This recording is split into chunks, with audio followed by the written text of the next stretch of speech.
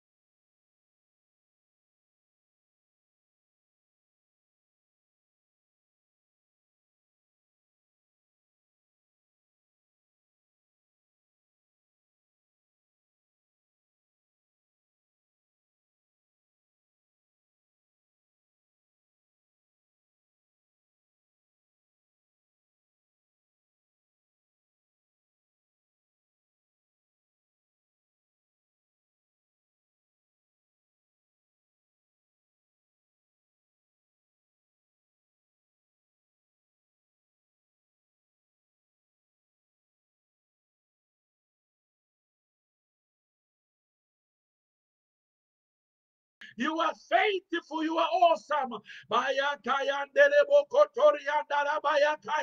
Paul says, Blessed be God, the Father of our Lord Jesus Christ, the Father of mercies and the God of all comfort.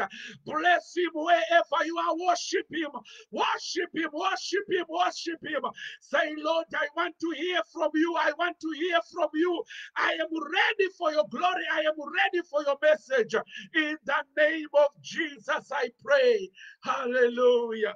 Hallelujah. Blessed be the name of the Lord. Hallelujah. I want to thank you so much for joining. I want to thank you so much for coming on this platform so that we can share the word of the Lord. I believe the Lord is going to speak to our situations. He is going to speak to our circumstances. We don't give up. We keep on fighting. We don't give up. We keep on pursuing. Though even technology was not doing us good on Zoom, we keep on having a resolute. We know who we are and we know the message that we carry. We know that we are the children of the Most High. The word of the Lord said to them that he believed, they were given power to be called the sons of God.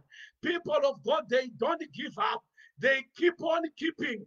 Hallelujah. So let's just thank him. Let's just worship him and give him glory. Hallelujah. Uh, this morning, I'm not going to uh, waste a lot of time.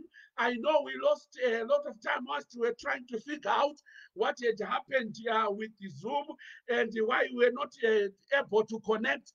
But we thank God because we are back live here on Facebook. Hallelujah. Hallelujah. Amen, amen. In our vernacular, they say. Hallelujah. When something goes bad, something better is there. Amen, amen. Hallelujah. I want to urge you all this morning as I welcome you once again to AFM in Canada, Hamilton Assembly. We welcome you, brethren. We welcome you. We welcome you. We welcome you. We welcome you. You are beautiful. Oh, you are beautiful. You know, the book of Psalms 139 says, For I am fearfully and wonderfully made. Oh, marvelous are the works of the Lord, and that my soul knoweth right. Oh, my God, your soul should know right that you are beautiful. You are wonderfully made. Marvelous are the works of the Lord in you in the name of Jesus. And this morning, uh, as the Spirit is leading me, we want to open our Bibles uh, to the book of Colossians. Uh, I am going to preach uh, on a title that I gave Walking the Talk. Walking the talk. Amen. Amen. There is a difference when we talk and we don't walk. But there is also a difference when we talk and we walk the talk. Amen. Amen. Christians, they do walk the talk. Amen. Amen. Hallelujah. So we want to go to the word of God. I am going to read verse 6 and verse 7, and we are going to dwell there as the Spirit of the Lord allows us, as the Spirit of the Lord guides us and He navigates us through in Jesus' name. Hallelujah. I am going to read uh, from the word of the Lord, uh, Colossians, Colossians, Colossians. I, I thought I had said Philippians. It's Colossians, Colossians chapter 2, verse 6 to verse 7. Colossians chapter 2, verse 6 to verse 7. Oh, I love the word of the Lord. My God. It says, As you have therefore received Christ, Jesus the Lord, so walk ye in him. Verse 7 it says, rooted and built in him and established in the faith as you have been taught, abounding therein with the thanksgiving. Hallelujah. Let me just pray. Father, I thank you. I worship you. I pray for your revelation. I pray for your guidance. I pray for your anointing as I am going to uh, expound on this word and, uh, and preach the name of Jesus to your people. Lord, let someone be encouraged. Let someone be built. Let someone be rooted. Let someone grow from wherever they are because you are faithful. Lord, you are holy, you are mighty, and there is no other name above your name.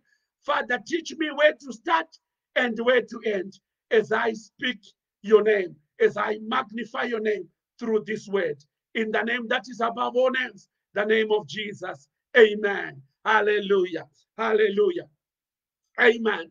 I am going to focus on this uh, topic uh, and on this chapter. As we have just read, Paul is writing to the church of Colossus, and he's saying that if we have received the Lord Jesus Christ, walk in him. Amen, amen. That's why I said walk the talk. Amen, amen. It is easy to talk about Christianity, but it is also important to walk the talk. Hallelujah. Hallelujah. Paul is insisting on the perfection of Christ and the, the revelation of the gospel in us. This account, it starts on verse 4 to verse 12. On verse 4, Paul, when he speaks, is talking about the revelation of Jesus Christ to our lives and the knowledge of him in our lives. Amen, amen.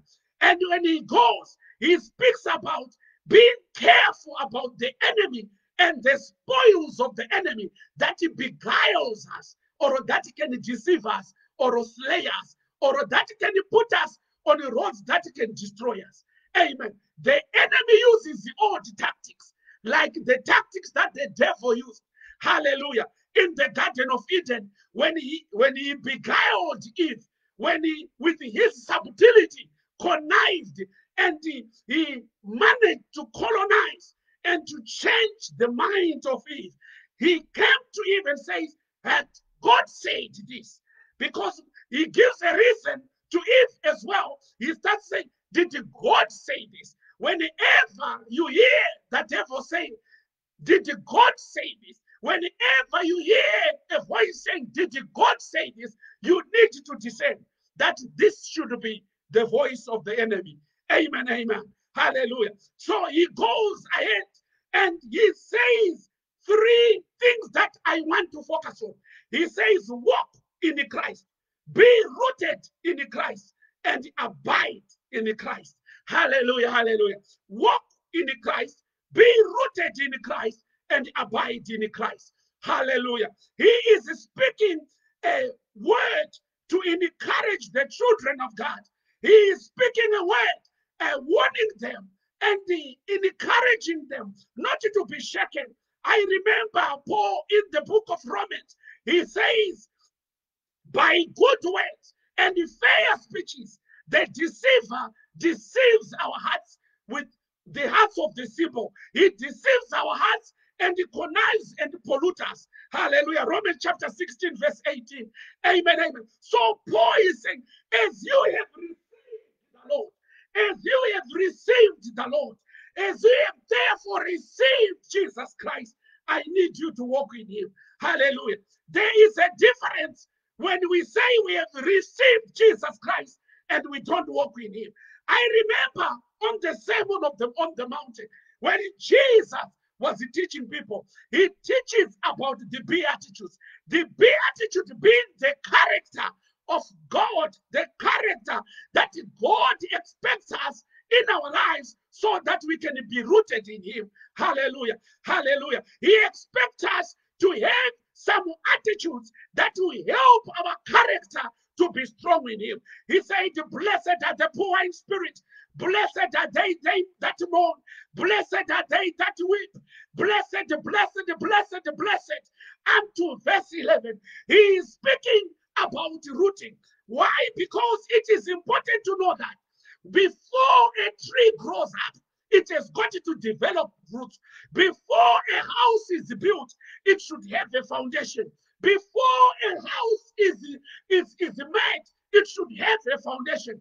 Any house without a foundation, it's just but a building, but waiting for to fall down.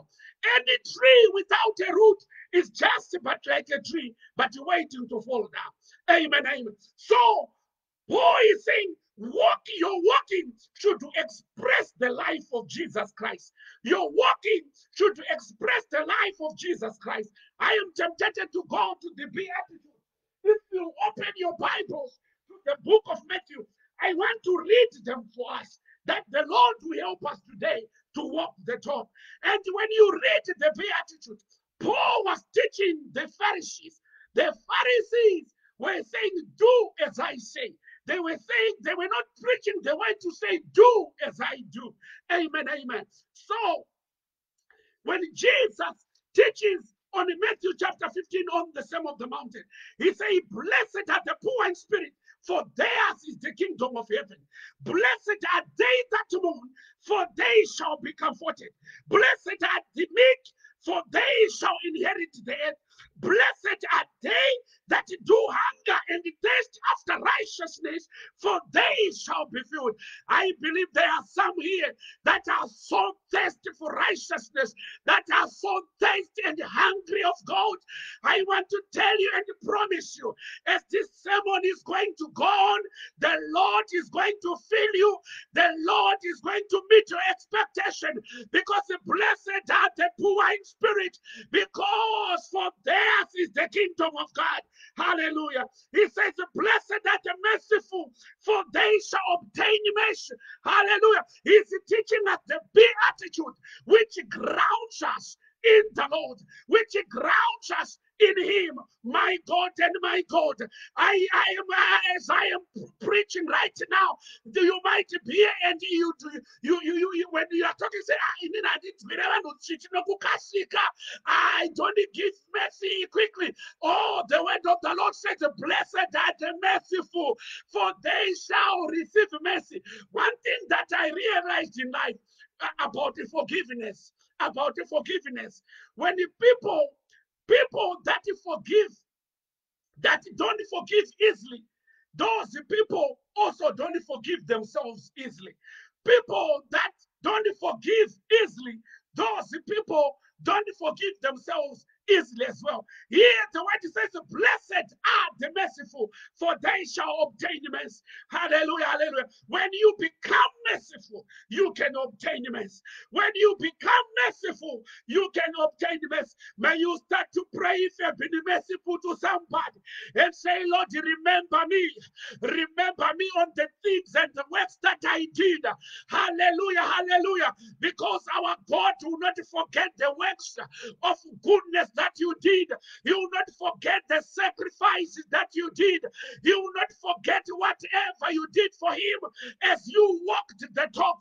There is a difference when you walk and don't live, when you talk and don't live according to what you say. But when you talk, when you walk and live according to what you say, you are blessed. Hallelujah. He said, Blessed are the pure in heart, for they shall see God. And there anyone on this platform that are saying, Lord, clean me, Lord, make me holy, Lord, make me holy, make me pure, that I can see God. I can see God here because you know this word says, Blessed are the pure in heart, for they shall see God. Which means when you are pure in heart, you can see God right now as I am preaching. When you are pure in heart, you can see God right now as I am talking. May the Lord meet you at your point of need because of your pureness in your heart. In the name of Jesus, may the church seek the purity of God. May the church seek the holiness of God. May the church seek the righteousness of God. May the church seek the goodness of Christ. Christ in me, the hope of glory. Christ in me, the hope of resurrection. Oh, are you here? And you believing and you believe in the resurrection power. Blessed are you, blessed are you, blessed are you, blessed are you, blessed are you, blessed are you, blessed are you, blessed are you, in the name of Jesus. He says, Blessed are the peacemakers. Peacemakers. You know, a peacemaker is someone that comes where there is havoc. And when he sees havoc, he starts to speak like Paul. Peace be unto you. Peace be unto you. He makes sure that there is peace. In the name of Jesus, may the Lord give you peace. May the Lord make you a peacemaker. May the Lord make you a peacemaker wherever you go. Walking the talk. It is time that we start to walk the talk as Christians. It is very disgusting to see a Christian that talks and walks like a devil. In the name of Jesus, we need to walk the talk. We need to live the talk. We need to pray the talk in the name of Jesus. Hallelujah. If you hear me, give me a sign that you agree with me. Give me a sign that you agree with the word of God. Blessed are the pure in heart. Blessed are the pure in heart. Hallelujah. He says, Blessed are they that are persecuted for righteousness. You know what made me to go here? Jesus started to preach this sermon on the mountain. And when he's preaching here, he is dealing with the Pharisaical and the scribe attitude that was in the people. For Pharisees believed in external things, they believed in external things that would be seen so that the people would believe that they are Christians. But our God works from inside out. Are you here where you are saying, Lord, remember me? I need you to work with me from inside out. And the Lord is here and He's going to work with you from inside out. Glory be to Jesus. Glory be to Jesus. Glory be to Jesus. So Paul is talking about be attitude. He's talking about the attitude that we should behave as Christians. We should walk in Christ. We should be rooted in Christ. And we should abide in Christ. I don't know how many are on this platform that are abiding in Christ. If you are here, you can give me an amen. In the name of Jesus, the Lord is looking for them that are ready to be built, that are ready to be planted, that are ready to grow, that are ready to expand, that are ready to magnify the name of the Lord. Bless the Lord, oh my soul, and all that is within me. Paul is speaking about the that God He desires in our lives, perfections of walking in Him, being complete in Him, being rooted, friend, right, left, everywhere in Him, not being shaken. He's having a picture of Himself humbly and faithfully describing who we are in Christ. As a Christian, you should be rooted. You should be planted. You should be planted. You should be abiding. You should also be waiting, expecting for his coming. Hallelujah. Waiting expectantly because he's going to come. Let me go back a little bit. Hallelujah. It is very difficult to abide in him when you are not dead in him. But when you are dead in him, you can abide in him. When you are dead in him, you can live in him. When you are dead in him, you cannot walk like any hypocrite. You cannot walk like any Pharisee. You cannot walk like any teacher of the law who speaks about the law not walk in the law. In the name of Jesus. If you go to Matthew chapter 5, verse 20, Jesus quotes in verse 20. He says, For I tell you righteousness surpasses of the that of the Pharisees and the teachers of the law, you will certainly not enter the kingdom of God. Hallelujah, hallelujah. The Lord desires us to die in Him. He desires us to die in Him. If you go to the book of Colossians, Colossians, the same chapter that I read, you hear on verse 20 Verse 20, Paul says that, that we should die in him. We should die in him. He says, Wherefore, if you be dead with Christ from the rudiments of the world, why, as though living in the world, are you subject to the ordinances? Hallelujah, hallelujah. Paul is saying, When I look at you, I don't see a Christian. When I look at you, I see someone that is walking at, uh, uh, according to the ordinances. Ordinances are orders, are laws and rules of the world. He's saying, I don't see a picture of Christ because you are not dead in Him. Ladies and gentlemen, if you are dead in Him, no devil can touch you because when they see you, they see Christ in you. When they see you, they see the resurrection power. Oh, Paul says in the book of uh, Philippians, he said that I pursue, I press on toward the high calling of God. He said that I might know him through his resurrection power. We need to know him through his resurrection power. We need to know him through his resurrection anointing. We die in him. We die in him. When we are in him, we are protected. Oh, first you need to be rooted. When you are rooted, you need to grow in him. When you are founded, when you have got your foundation in him, then you are built in him. When you are built in him, you die in him. Let me just use this simple, simple example. If you see a house that is built in Hamilton, that you have got its foundation in Hamilton, if you want to look for that house, you can't go to Brampton and look for it because it's dead in Hamilton. But it being dead today doesn't mean that it's established. It has got rooms in it of accommodation. It has got rooms in it. It has got decorations in it.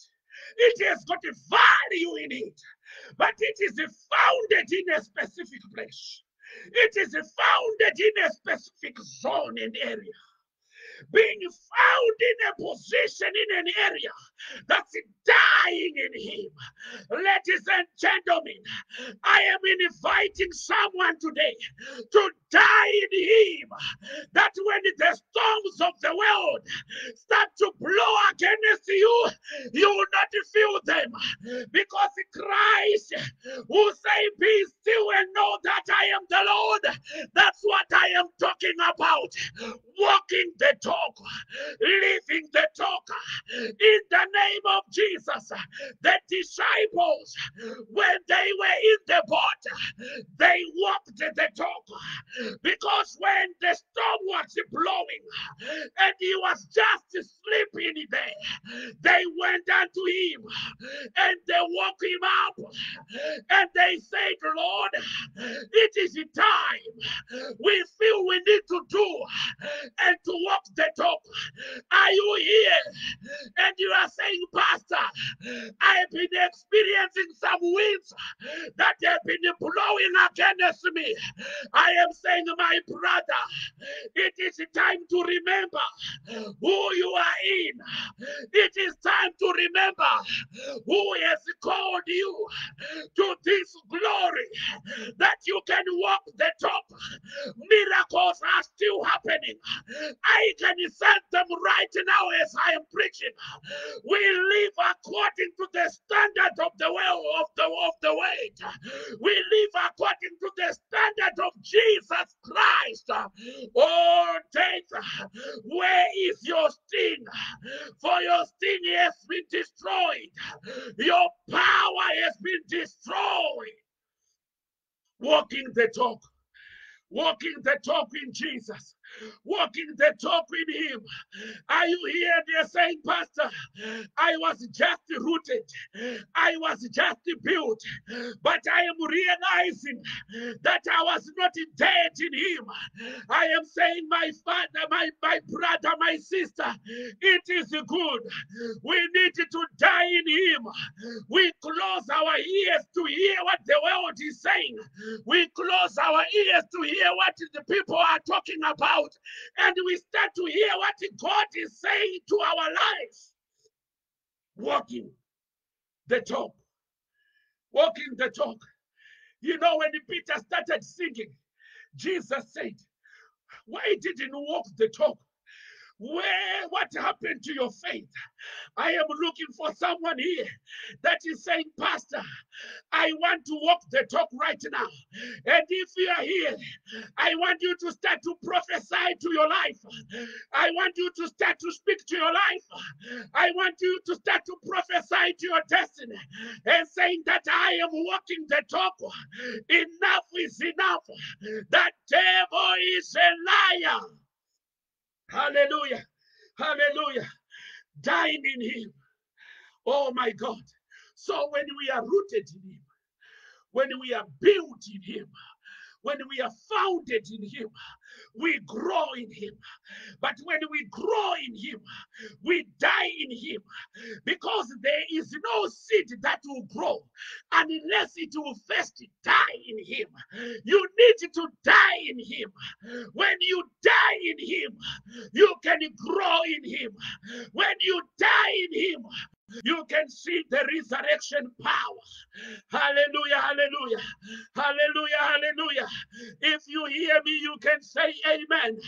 If you hear me, you can show me by waving your hand in the name of Jesus. Hallelujah, hallelujah. So he says, I want to teach you something. I want you to teach you something. that you can be an amazing teacher. I want to teach you something that when your attitude becomes correct, when your attitude becomes sound, you can become sound. When your attitude becomes meek, when your attitude becomes founded, when your attitude becomes poor in the spirit, when you become merciful, when you become poor in your heart, when you become, when you start to be helping, when your presence is felt, let me tell you something. There is a guarantee, there is a reward that is in Colossians chapter 3, verse 1. If you read Colossians chapter 3, verse 1, it says, If then if then be reason with Christ, seek those things which are above where Christ is seated on the right hand of the Father. He's saying, when you die with Him, you can rise with Him. But when you rise with Him, as you are listening to me right now, you can tell me some miracles that happened to you because of the resurrection power. I am saying to you, my brother, you need to abide. But when you abide, there is resurrection that is waiting for us. There is a resurrection that is awaiting for us. And that is the surety that we have in Christ. That is the surety that we have in Christ. Because when we have got that surety, we also start to pray for things that are above. Hallelujah. Hallelujah we also start to pray for things that are above. Oh, there is something that he says on verse 3. He says, If we you are dead and your life is hid with Christ in God, ah, my God, for you are dead and your life is hid with Christ, oh, in God, my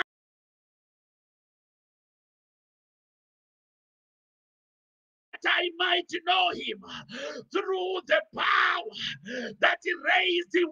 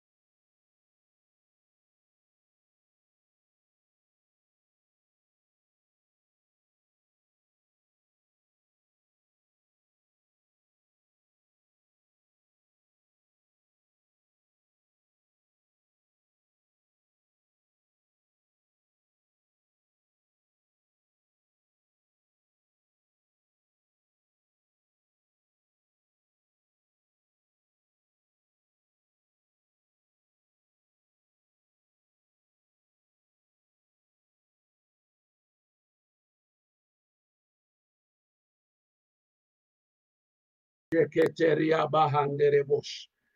give you praise. We give you honor. We worship you, Jesus. We worship you, King of Kings, Lord of Lords.